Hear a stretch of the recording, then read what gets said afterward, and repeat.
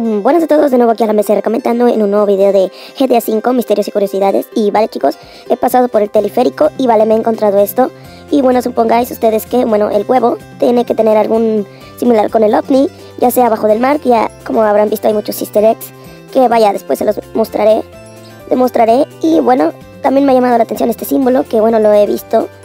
Tenemos aproximadamente, bueno, he tenido la sorpresa de encontrarme con el huevo y supongáis que en la primera misión, digamos que es el ovni enterrado o el ovni bajo del mar, o no sé si tenga que tener alguna relación.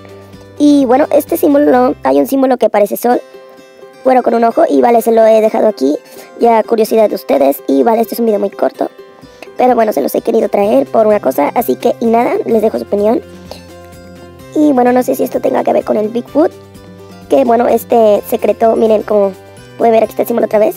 Bueno, este secreto de Bigfoot Está en GTA San Andreas, bueno, apareció desde GTA San Andreas. Y bueno, aquí estoy en la cueva de lo que supongáis que es el Bigfoot. Y bueno, me encontró con este símbolo, no sé si tenga que tener alguna relación, pero en el ojo se puede ver, se puede apreciar un ovni, como podéis ver.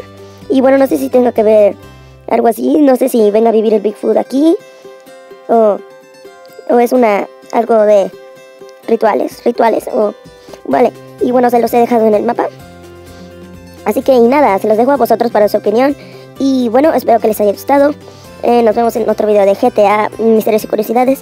Así que y nada, nos vemos en el próximo video.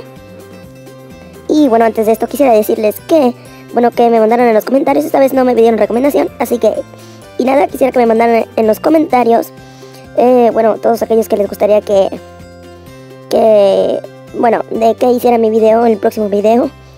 Así que, y bueno, yo lo puedo poner al gusto de ustedes, que es lo que más me importa. Así que vosotros podéis pedirme lo que sea, así que nos vemos. Bye.